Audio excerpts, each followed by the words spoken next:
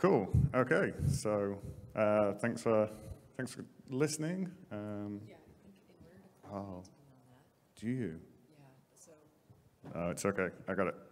All right. So yeah, this is our kind of brief agenda for today. Um, we're just going to do like a really quick overview of the critical keys in a Sigstore deployment, and we're going to talk about how we um, selected an open source solution to build uh, a transparent, community-rooted um, security and update mechanism for those keys um, for Sigstore. So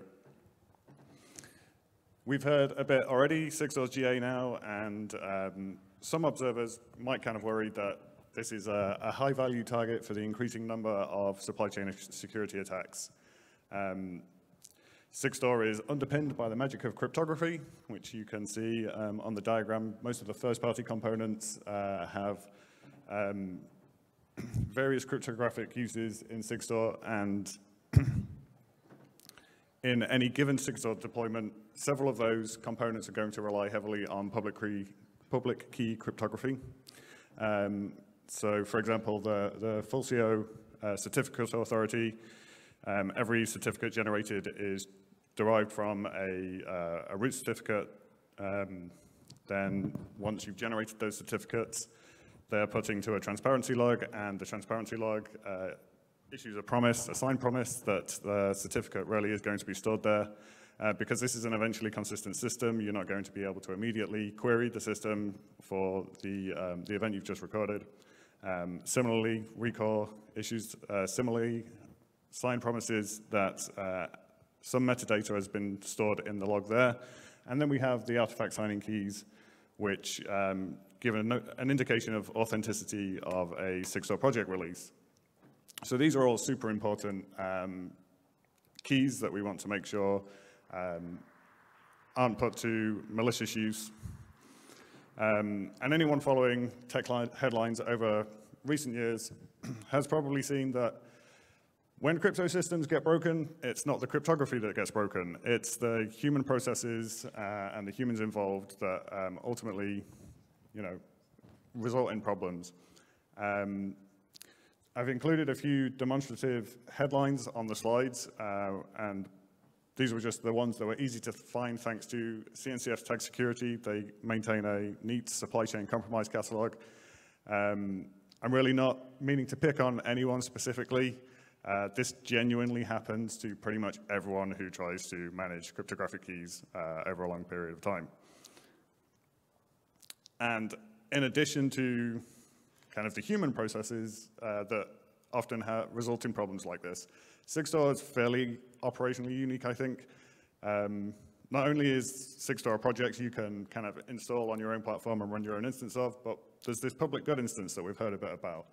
And the public good instance um, is a free-to-use service. It's hosted by a not-for-profit.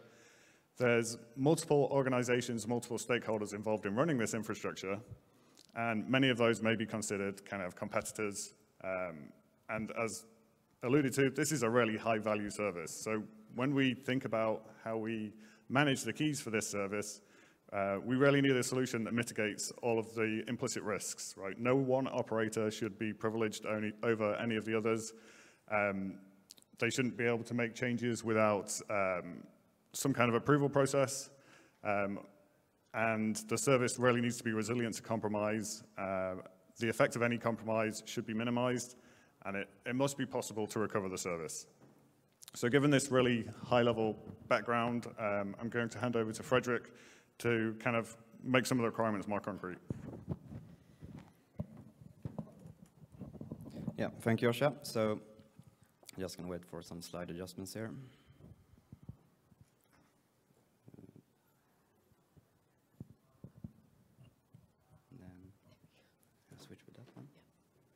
Yeah, so uh, as we've seen, there are some services we need to secure in the system, like there are a lot of keys going around. So to be able to manage this in a secure way, we have identified a few of the requirements. So as an example, we need to be able to rotate or revoke a single key at any given time. So this could be like uh, a key can be compromised, it has to be revoked, or it could be due to a scheduled rotation, because nothing is forever, and especially not in trust. All the trees, all the keys has to be uh, single purpose use only, so if a specific key is compromised, the effect of it should be minimized. Over time, the number of keys will grow, so we need to have a solution that's capable of managing a growing set of keys, because keys that are rotated may still be used because we need to verify a signature made in the past. Also, for a good developer experience, the solution need to have a way where we can sort of understand programmatically what the intended use case and status is for a specific key. All the keys has to be um, related to a trust root so the client can verify them because the client don't just want to accept a key and then trust it, so it has to be verifiable in that sense, kind of similar to how a root certificate worked for uh, regular certificates. The trust root has to be very strong to protect against things such as Uh, a compromised key, so we need to have a quorum of trust root members approving all the changes to it. All the changes happening has to be verifiable and visible to the community so they can see what's happening. And of course, it has to be traced back to initial trust root. And a client that's working with a specific trust root has to be able to bootstrap itself up to the latest version as well. So this solution for this is the update framework or TUF. So TUF, as we already heard from Ethan, is a framework for securing software update systems. It's an open source project. It's been around for a long time and it's widely used and tested and, and widely tested and used in a lot of production deployments. Some of the important things that you get from TUF is that it describes, for instance, what are the steps to securely verify an update from a client-side perspective, what are the file formats used, or metadata files as they're called. So each metadata file uh, corresponds to a specific role. We will talk a little bit more about roles, but each metadata file is signed, it has an expiration date, and two of the important roles are the root role, which defines what are the keys in the system and what are the roles. Another important um, metadata file is the target file that shows what are the targets that exist in the system. And the targets is what the client is really interested in. So for us, it's a key usually.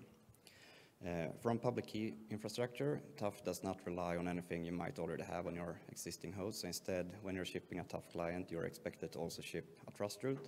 And of course, TUF can work with that TUF trust root and update itself to the latest version. So some of the key features of it is that, as we mentioned, like all metadata files can have a threshold in the amount of signatures they need to have. So this is a good way to protect against a compromise key or, let's say, an insider attack. Uh, TUF doesn't care about what the target is. It's sort of opaque for TUF. It just delivers them, but it does offer the possibility to add custom metadata to it, so you can get some kind of semantic or understanding of the targets. We talked about two roles, but roles is a way where you can distribute different responsibilities within TUF itself. So two other important roles are the snapshot role and the timestamping role. So as Ethan said on the talk earlier, the snapshot role is used to gather all the set of valid targets together, and this acts as a good way to prevent mix and match attacks. The timestamping role is used to periodically reassign the snapshot file, so this is a way we can get protection for replay attacks. So as an example, how it may look like is that you might have your different metadata files somewhere in a offline place and you can sign them and then they get published to a repository where the client can fetch them from. So as an example, the repository may be like an HTTP server or a cloud blob storage. And from there, all the clients can sort of pull down the latest version of all the targets and the metadata file describing them. To end this off, I would just like to show that there are some honorable deployments already of TUF, and being in Detroit, I would like to call out Uptane, which is a derived work from TUF used to secure updates for automobiles. And with that said, I would like to hand it over to Asra. All right, um, thanks, Fredrik. So I'm going to start uh, talking a little bit more about implementation details and about our Sigstore specific instance of TUF. Um, so I'm going to be talking about this red highlighted left part about the repository setup and the implementation of how we're creating this repository. So the first thing is, given the requirements that um, Fredrik mentioned and the ecosystem that Joshua mentioned that we need to secure, um, what we've done is we've used the update framework to secure with um, the targets actually pointing to those ecosystem signing keys. So all those four targets um, that Joshua mentioned are actually the targets that we're signing off on. Um, and TUF is that framework that is going to provide us with the freshness aspect um, and the rest of the attack mitigations that Fredrik spoke of. Um, the second thing is, in order to share the community ownership of the public trust root um, and to allow the public to view the records, um, part of you know the transparency ideology of Sigstore is that we actually host the trust root and all of the actions for signing and um, changes on the GitHub repository. So that GitHub repository is Sigstore slash root signing, um, and from there you can see all the records of history, new updates, um, and uh, like basically audit trails of what's been going on there. So we encourage you to go check that out. If you're ever curious about if there's a root event occurring, you'll find out there. So diving in a little bit deeper into the um, layout of the Sigstore community Root, um, what we have here is a visualization of the, the four major roles in red and green, and then the four artifacts um, that are signed by the targets. Um, so we have two different types of keys that are used in managing the Sigstore community Root. The first is those offline keys, and the second is online keys. So the offline keys um, are distributed amongst five community key holders. So unfortunately, we have four in the same room, maybe here right now.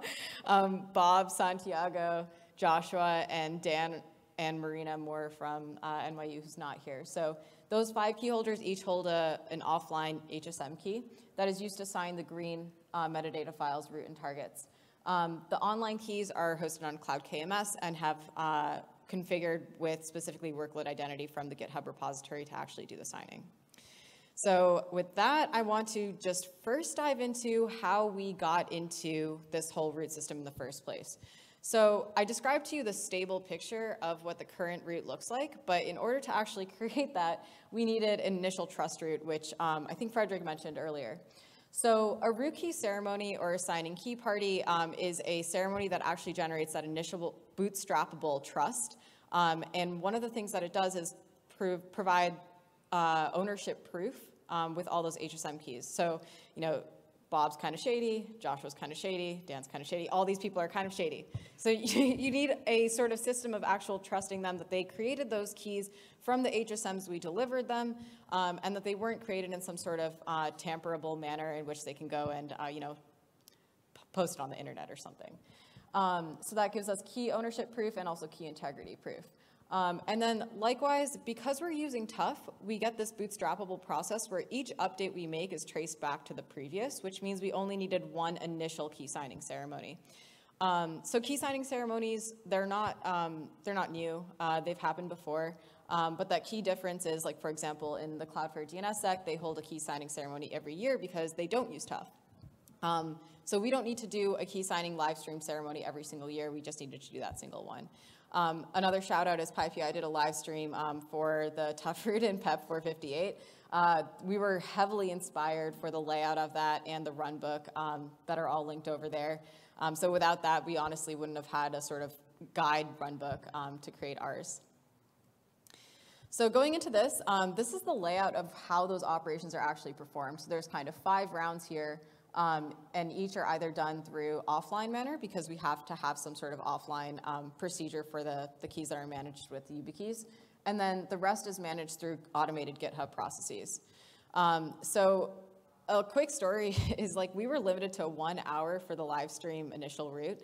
Um, and I was doing like tons and tons of tests. Um, Priya, Dan, Apu, uh, Jake were all involved in helping me run through this um, dry run for the live stream.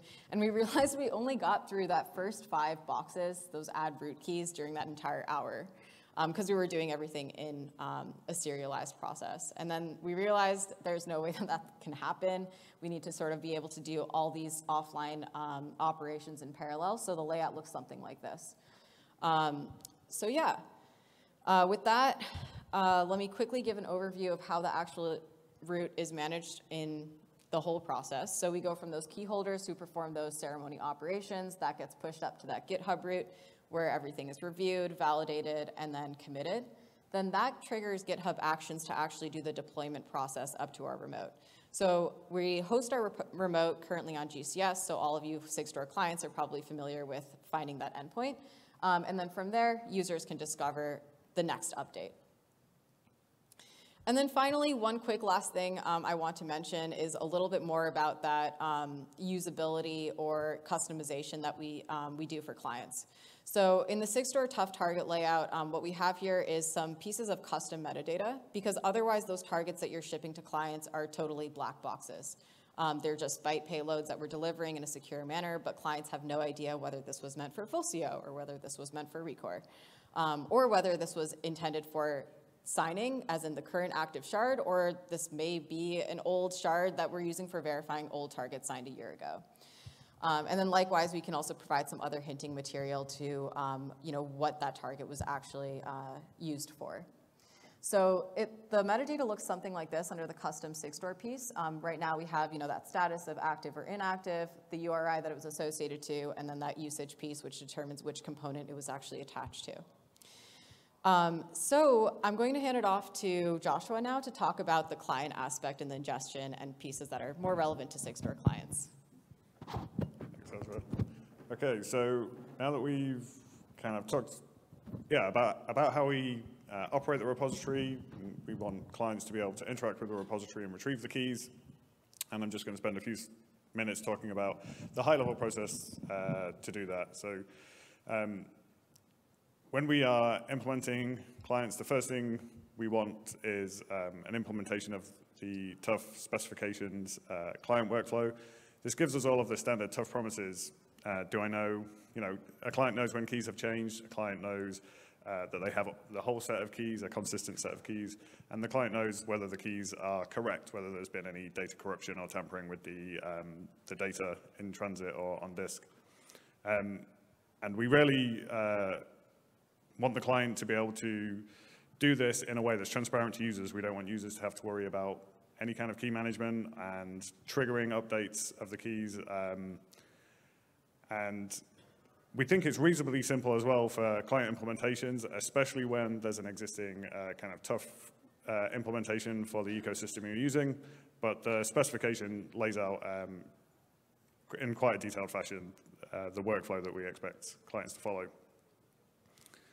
Um, so as well as the standard uh, TUF client features, Sigstore has some uh, additional requirements um, that Asra has uh, detailed how we uh, describe those on the client side, sorry, on the repository side. Um, and that is, a client really wants to know what the target's used for. Uh, is the key still active? Is it valid for um, recently signed data only, uh, recently signed data or for um, historical signed data only? And some notion of policy, whether uh, this is the public good Sigstore instance, a staging instance, a proprietary uh, instance on private infrastructure. Um, and in addition to the features of a TUF client, we really want a Sigstore client to be um, able to do additional things because the nature of where Sigstore clients are deployed is um, varied and the frequency of use of a Sigstore client is different to um, kind of some more traditional signing solutions. So once you've got clients at the edge or in ephemeral environments, we, we want to be able to have some notion of configurability. Am I, um, I don't want to necessarily update my key material every time I um, ingest a new container image. Um, I might want a certain notion of cacheability. Um, and we really do need uh, clients to ship with that initial trust root so that they can um, have that verified linkage from uh, a trusted state that the client verified. Um, we really want to avoid trust on first use um, for Sigstore clients. So concretely, this comes down to three things that clients need to implement. Um, they need to bundle a copy of that trusted root metadata. Um, they need to perform the steps of the TUF metadata update workflow. Uh, and then finally, they need to be able to search for matching keys. And right now that's uh, looking at the JSON metadata that you've retrieved and doing basically a, a wildcard match of pattern match on the, the names of the target files, the key files. Um, but we're, we're currently working to define uh, a more robust target discovery mechanism um, so that each client doesn't have to uh, manually inspect the metadata. Um, we want to define more of an API contract for this kind of work. Um, and I'm really I think it's really neat to be able to share this information. If you are interested in implementing a Sigstore client, there's a bunch of libraries that exist today that can make it much easier for you. Um, you don't need to start from scratch in most instances. Uh, if you are uh, using Go, obviously, there's the, um, the cosign implementation that is available in the Sigstore module on GitHub, um, and that implements everything we've described here today. There's also a, Rust client uh, that's available on crates.io called Sigstore RS. Um, the Python client is in progress. We're going to hear about that a little bit more later today. Uh, it doesn't currently implement the root key update mechanism, but there is some uh, discussion about implementing that, and you can get the Python client today on PyPI and um, you know sign and verify uh, Sigstore signatures. Um, there's also a Java client uh, available on Maven, and um, a JavaScript client, which is available on NPM. Uh, doesn't yet do the root key update either, um, but there's, there's ongoing work for that. And I should note that the Go client is the only one that doesn't include some kind of disclaimer about this being kind of experimental work in progress code. This is the, the little warning symbols on the diagram on the slide here. Um, but I think given the GA today, uh, we can expect to see these kind of rapidly approaching stabilization, and I would strongly encourage that this is a great place to um, bring your kind of software engineering um, ecosystem knowledge and start contributing to the Sigstore space. The more of these clients we can get um, implementing these features and stabilize, then the easier Sigstore adoption will be moving forward. And then, as promised, this was a very fast tour through uh, the, the root signing mechanism and how to interact with that repository. So we collected a, a, list of resources here that you can use to dig deeper into some of the things we've discussed today. I really want to highlight some talks happening today and at the rest of the conference. So uh, Jed and Zach are going to be giving a talk on the life of a Sigstore signature. I think that's going to be super useful context uh, on top of this. Um, and then um, at the main KubeCon event, there's going to be a maintainer track talk about TUF. So if you really want to uh, here's some of the deeper details on TUF. You can see um, Justin and Marina talk about that. And then uh, Santiago and Justin, uh, Santiago and Marina, sorry, are going to be hosting a Contrib Fest on Sigstore and TUF and in Toto during KubeCon. Um, and probably most of us are going to be there. So if you want to come and hack on some of this stuff, like come along and we can we can get more technical with some of this and dig into the details. Um, with that, uh, thank you for your attention. Uh, we have a few minutes. If you've got questions, we'd be more than happy to answer them.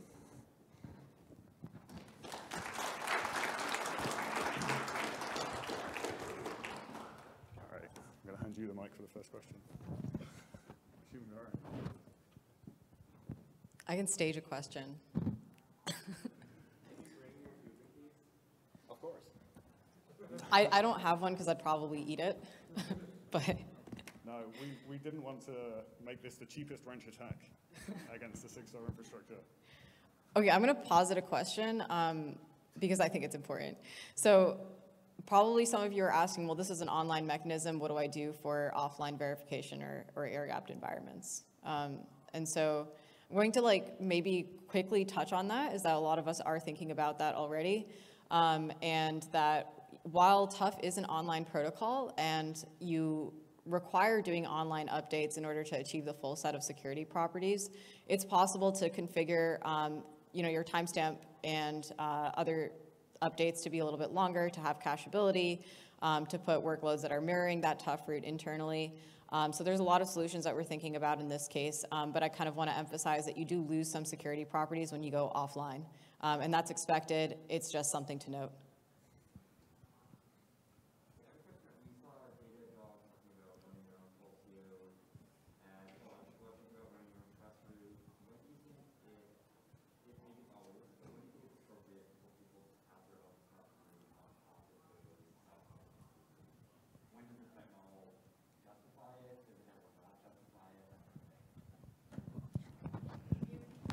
Yeah, I was going to, yeah. So the question was effectively, um, when you're deploying your own Sigstore instance, when do you need to go through all of this kind of process to generate your own TUF root? Um, and one of the things we've been talking about this week, in fact, is um, like abstracting the TUF root into a generic kind of root interface with defined uh, contract points so that um, you can you don't always need to use TUF. Uh, if you're a relatively small company, you know, you've got like tens of engineers, having this quorum mechanism uh, maybe doesn't make sense. And the, the sense of ownership um, is much clearer in a hierarchical organization. The, the transparent uh, trust is probably not a relevant notion. Um, so we want to make it easier to bring your own uh, kind of um, root key mechanism and bootstrap your Sigstore instance from those controlled using your existing mechanisms or a simple mechanism. So when does it make sense? I really think the, the kind of the transparency and the quorum uh, are, are two of the key things in the root selling system that we've designed. And um, being able to chain uh, like the updates is a really powerful mechanism. Um, so I don't think I can give a concrete answer when it makes sense, uh, just that we're thinking about this and we'd like to support different scenarios. And I think also there's some work starting to make it easier to uh, generate your own TUF root without necessarily having to follow the same process that we use um, on the public instance. Do you want to add anything, Asra? Yeah, I think um, on that note, we are trying to make it easier for you to make a lightweight TUF setup that may only be used for like, you know, a single maintainer creation. So um, there's some work on, uh, coming out of VMware on repository workflows and um, on the, on TUF maintainers as well are, are looking at that. And there's also some work uh, that uh, VLA had, had done in six Sigstore scaffolding as well to create uh, TUF roots from secrets that you can load in. So we're working on that. But again, it might not make sense for you to have a, a public trust root that's uh, like securely updated sometimes. So, anything else? All right. Well, feel free to approach any of us about any of this, um, and you know, attend the Contrib Fest as well. We'll def- honestly, maybe someone can do the Sigstore Python integration and complete it there. it should be pretty easy. Okay. Awesome. Thank you.